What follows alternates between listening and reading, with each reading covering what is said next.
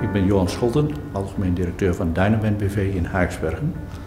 En we zijn fabrikant voor machines voor het koudverwarmen van buis en profiel.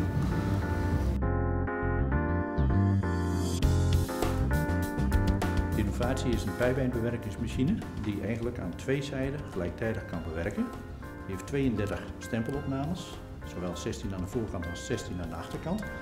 En vier klemposities, waarbij een product compleet afgewerkt kan worden in één arbeidsgang. Voordeel daarvan is dat het op die manier bewerken enorm kostprijs reducerend is.